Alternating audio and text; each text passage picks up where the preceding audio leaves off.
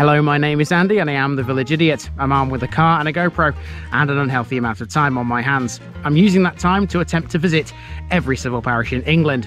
You're watching the East Lindsey series. This is the biggest district in Lincolnshire containing 188 civil parishes. Without further ado, here's today's offering. Welcome back to East Lindsey once again people to a place that's quite large by East Lindsey standards but yet it still has a very rural feel because it's very spread out all over the place. There's a lot of farm buildings, a lot of a lot of fields here, there and everywhere and lots of hidden history too. This is a place that to be honest with you might take me quite a while to walk around which is not something I usually say in these parts. Welcome to the parish of Minting.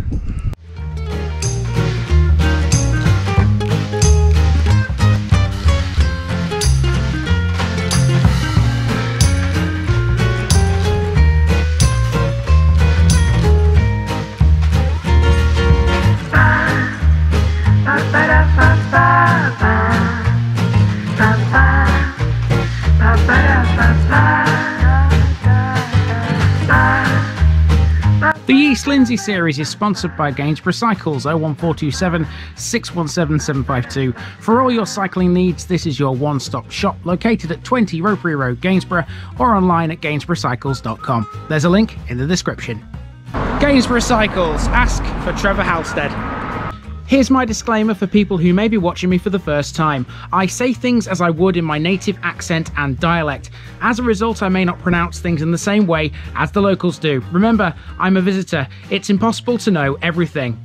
Leave me a comment, spin me a like, and bash that subscribe button. Let's get to today's parish video.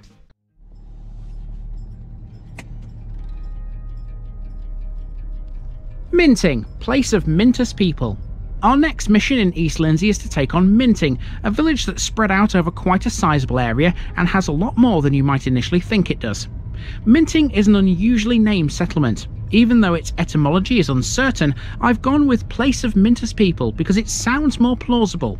Others believe it literally means mint place, a possible reference to the herb that might grow in your garden. Minting has always been heavily connected to neighbouring Gautby, both are set in gently undulating farmland with the extensive Lincolnshire Limewoods to the west, and both have historic connections. Whilst the Domesday Book didn't mention Gautby, it did refer to two places called Minting. They were recorded as Mentinghes. One of these is believed to have been the now lost village of Little Minting, which lies somewhere within Gautby's boundaries. From a historical standpoint, Minting was most notable for its small Benedictine priory, which existed with a somewhat checkered history from the early 13th century until the dissolution of the monasteries. There's also a pretty tragic tale to tell here centred around the pub, the Sebastopol Inn. We'll talk about that and more as we venture around an East Lindsey village. Once again, let's go.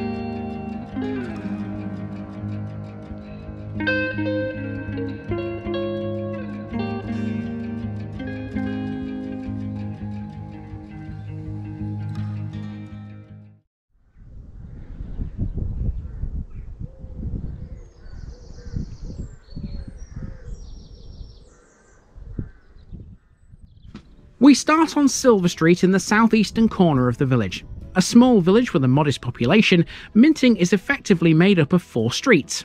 This road typified what was to be before me in the first couple of minutes. Minting is greatly residential, and Silver Street is entirely. It's a mixture of both old and new property wise. Several centuries ago, Minting was composed entirely of mud and stud cottages. Some of those do still exist here, if you know where to go. Minting's claim to fame would be its status as a thankful village, meaning it suffered no fatalities in World War I. Minting is not on the Lincolnshire Wolds despite what you may think given the local scenery. It is, however, right on the edge and can be a popular place for walkers, cyclists, and anyone else who likes a bit of Lincolnshire countryside. Despite the rain, this Lincolnshire boy definitely does.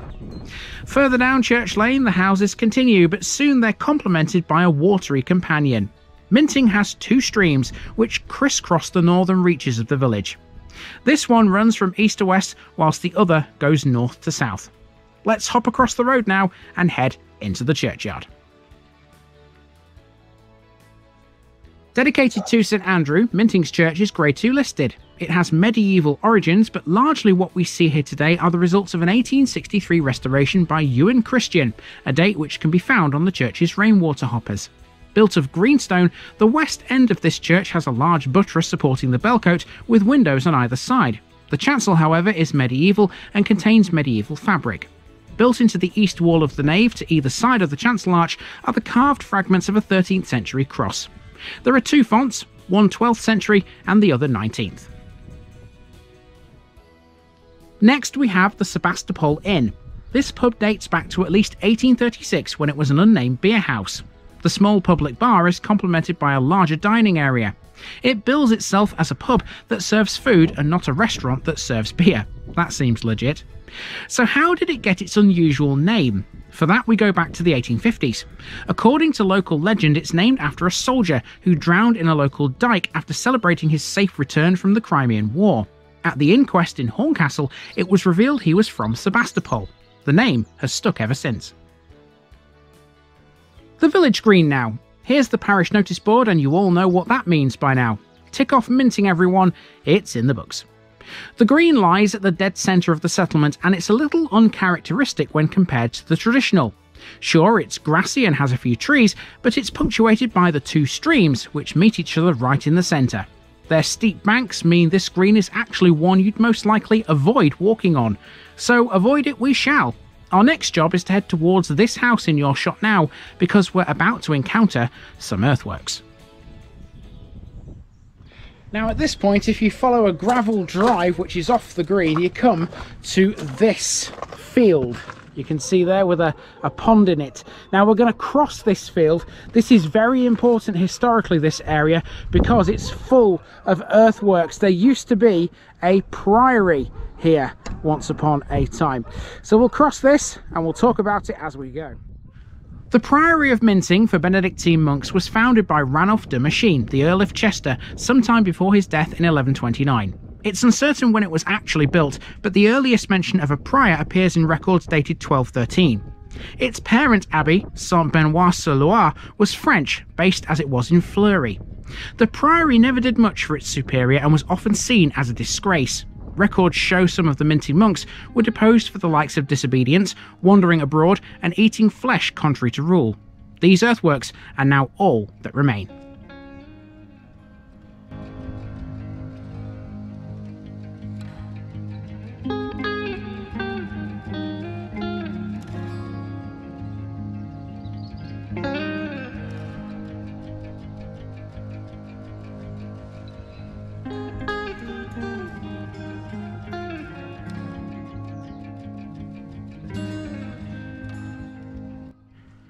After walking down Chapel Lane, we find ourselves at the village hall next. This opened in 2002 and serves Minting, Waddingworth, Wispington, and Gautby, despite the fact that Gautby has its own.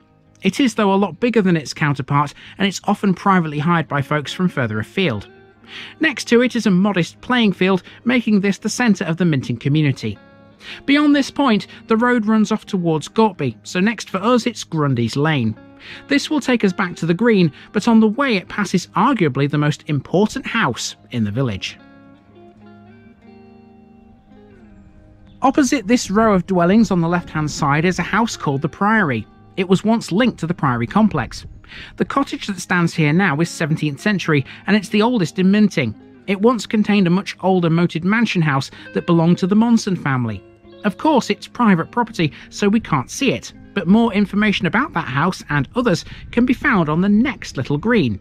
This information board tells you all kinds of things about minting, ranging from the priory to the school to the church and even to the composition of the housing. There's some quite good stuff on this information board, including something I didn't even know about until literally just a few seconds ago. Look at this here. Right at the southeastern corner of the village. I'm parked on Silver Street, just there, and I'm just north of this, the station that never was. And here's a bit of information about it. It was proposed by the Lancashire, Derbyshire and East Coast Railway Company to build a line which would have passed through, Min through Minting and would no doubt have incorporated a station as depicted by Melanie Harris's illustration. How about that? Minting may have had a station at one point, but it never ever happened. And this is my route back to Silver Street. I've come back through the churchyard and onto this footpath here. Another earthworky field awaits me here. So I'll go through this this gate. If there are some earthworks in this field, I don't know anything about them, I must admit. And we're going to cross this back to where my car is parked. You can, you might be able to see it actually, just there. So uh, yeah, that is the route around Minting. And that's it folks, Minting is in the books. This road takes us north towards the A158 at Baumber. I will finish this episode with a little admission. When I wrote the script for this one, I was a little ill at the time. I probably, as a result, haven't given it the full beans like I would normally, but I did my best in the circumstances. Minting likely has plenty more to talk about, and I'm sure it's worth exploring deeper. Perhaps then this is a challenge for you all. Come to Minting yourself and have a wander. It's worth the effort. See you next time in East Lindsey, where we'll be heading a lot further north. Look out, Grimsby, I'm coming back. See you all soon.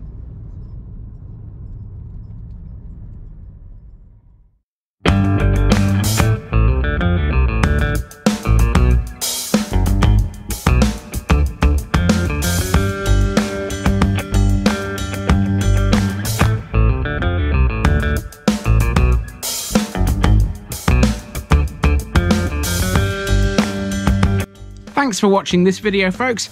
Don't forget to like this episode if you haven't already, it really makes a difference with YouTube. If you're new here, subscribe to the channel for more videos like this and give us a share too if you've got friends who'd like it.